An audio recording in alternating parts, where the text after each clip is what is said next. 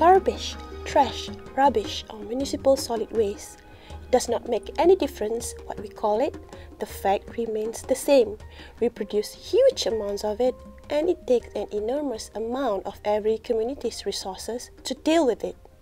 Cities are at the nexus of a deeper threat to the environment, namely the production of increasing quantity and complexity of waste. In general, urban residents generate two to three times more solid waste than their fellow rural citizens. Globally, the daily waste generation in urban areas is about 760,000 tons and is expected to sharply increase to 1.8 million tons per day by the year 2025. Municipal solid waste, especially generated in the cities, is the most complex solid waste stream as opposed to more homogeneous waste streams resulting from industrial or agricultural activities. The list of the top 10 countries that generate the largest amount of municipal solid waste includes four developing nations, namely Brazil, China, India, and Mexico. This is mainly due to the size of their growing urban population. Furthermore, their city dwellers are prospering and adopting high consumption lifestyles. Urbanization and income levels also tend to determine the type of waste generated. The share of inorganic materials in the waste stream, such as plastics, paper, and aluminium, also tends to increase as people grow wealthier and move to the cities. Cities authorities, which are responsible for urban waste management, are struggling with the accelerated pace of waste production in their jurisdiction more than 50% of the collected waste is often disposed through unsanitary landfilling and about 15% is processed through unsafe and informal recycling. Improper solid waste disposal in cities impairs human health and causes economic, environmental, and biological losses. In unlined or unsanitary landfills, leachate, which is the fluid emerges from the waste, can seep into the ground and may contaminate both the soil and the groundwater, posing substantial health hazards to any nearby communities. The common three R's are reduce, reuse, and recycling. In order to be sustainable in the long run, solid waste management must start with reducing consumption, followed by reuse and lastly recycle. Reducing consumption will require a dramatic cultural shift and behavior change, which may take a long time. Therefore, in addition to presenting awareness campaigns on the importance of consuming less and reusing more, cities should also adopt strong recycling programs. Recycling is a process of turning materials that would otherwise become waste into valuable resources of financial, environmental, and social returns. With emphasis on urban and peri-urban areas, recycling is viewed as a sustainable means of diverting maximum fractions of municipal solid waste from landfill disposal since the waste generated in this area contain substantially less organic portion compared to rural areas. The benefits of recycling go far beyond just saving landfill space. It provides a source of valuable raw materials. Multiple markets exist for papers, plastic, glass, metals, and other materials. Although collecting and selling these materials will not make a profit for the community, it may reduce the community's waste management cost by creating a revenue stream from waste. Recycling undoubtedly saves resources. One ton of recycled newspaper saves the equivalent of 17 trees, 2 barrels of oil, and 41,000 kilowatt hour of energy.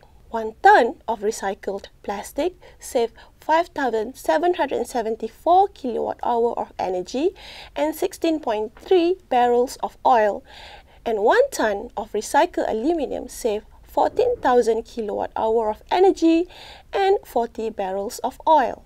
Apart from conserving resources and creating revenues from waste stream, recycling also provides new jobs and economic development potential. A well-managed recycling program provides employment for people who have difficulty finding work in other places. In Malaysia, 64% of the overall waste composition is dominated by municipal solid waste. Out of this, 80% are recyclables. Plastics are probably the most common recyclable material with high potential for recycling in Malaysia since this material is widely used and part of a modern lifestyle in urbanized areas. Growth rates in Malaysia plastic industries reached an average of 15% for the past 11 years, indicating a high demand for this material in the country. Recycling should be greatly emphasized, especially at the most basic level of community, which is the household unit. Households are the highest contributor among the municipal solid waste sources in Malaysia. Although households in Malaysia as well as around the world will need to significantly reduce their consumption rate and subsequently their waste generation, in the short-term context, proper recycling can lead to a substantial reduction in terms of waste sent to landfill. Malaysia aims to be a developed country by year 2020 and, among other measures, has set a target of achieving a recycling rate of 22%.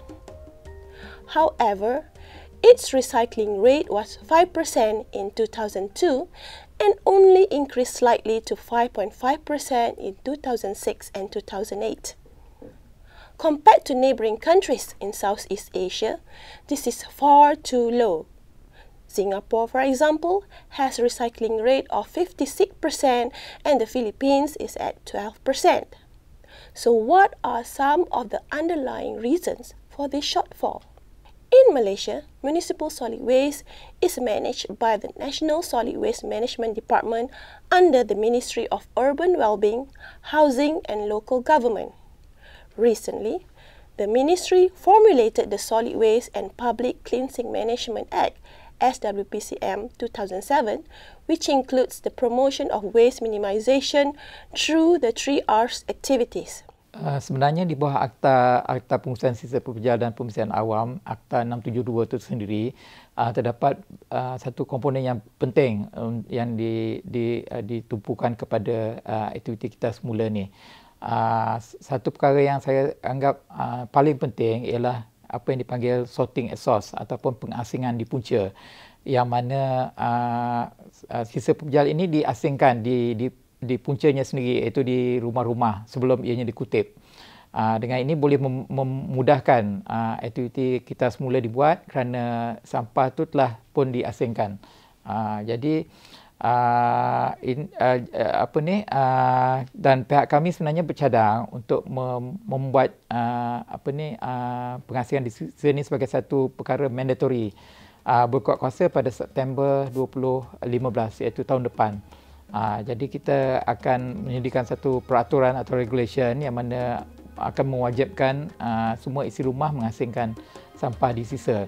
Uh, sebenarnya pada masa sekarang pun kita dah buat sebenarnya uh, kutipan iaitu kutipan perasingan uh, daripada sampah yang uh, basah atau konvensional sampah ni dengan sampah-sampah yang boleh di recyclable dalam apa yang kita panggil 2 plus 1 yang mana dua kutipan ialah untuk sampah biasa dan satu kutipan untuk uh, kita semula.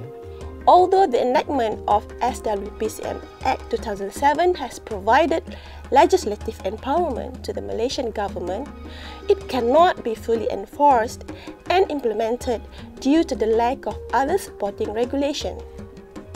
In several major cities in which the 2 plus 1 system of collection has started, implementation is not smooth majority of the households are not fully aware of the collection schedule. Furthermore, separate bin for recyclable is not provided. Due to these reasons, many households are quite reluctant to actively participate in the recycling program.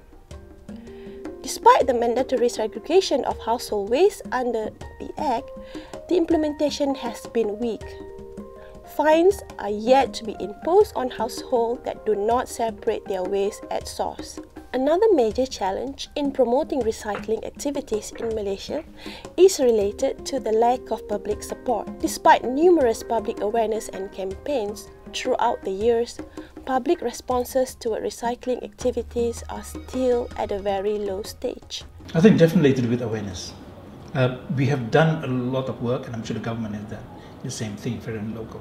But I think awareness is, is critical, um, mainly because we are a society that are so used to um, just let somebody else deal with it. We do a lot of complaining, i.e., when we see rubbish on the ground or in the in the Parit or Longkang places like that, we complain. Why isn't the authority doing something about it? That kind of thing. But we never think that it is our responsibility that we should be doing ourselves. So it it is a point where being aware of it and taking responsibility and going in there and digging it up and, and putting it in a rubbish bag, for example. So awareness is critical to, to doing that. Although most households understand the need for sustainable development, these levels of awareness does not always translate to actions. In many cases, the households that do recycle are motivated by financial gain rather than feeling a sense of responsibility in reducing their waste in order to conserve the resources and environment. Several approaches can be implemented towards achieving the desired goals of recycling community in Malaysia's cities. Current scenario has suggested that there are policies and facilities in place, but they are not comprehensive enough to contribute to an effective recycling program. Providing separate bins for recyclables and ensuring households are aware of the 2 plus 1 schedule may prove to be among the best yet simple approach to encourage people to participate actively in the recycling activities. Moreover, proper collection points, systematic collection and processing of recyclable need to be established. For this to happen, all relevant stakeholders, namely the federal and municipal governments, concessionaires, traders, recycling center operators, and NGOs, must coordinate their efforts. Strong enforcement of SWPCM Act 2007 is another critical factor. Strategies such as imposing fees on households that are not segre segregating their waste should be considered. Households may find this approach to be taxing at first, but they will be encouraged to recycle. At the same time, the role of financial reward among households should not be overlooked. Rewards, such as rebates and incentives, should be utilized to encourage recycling until the habit can be sustained. However, despite having financial and regulatory tools as the principal instruments for driving change in behavior, the effectiveness of the tools is strongly dependent on reflecting, reshaping attitudes motivations and norms within a community. There is still a long way towards achieving the 22% recycling rate by 2020 in Malaysia, and it remains unclear whether or not the ambitious goals can be met. However, if the proposed strategies addressing the barriers can be carried out effectively, there is a high possibility for successful implementation of sustainable solid waste management in the country.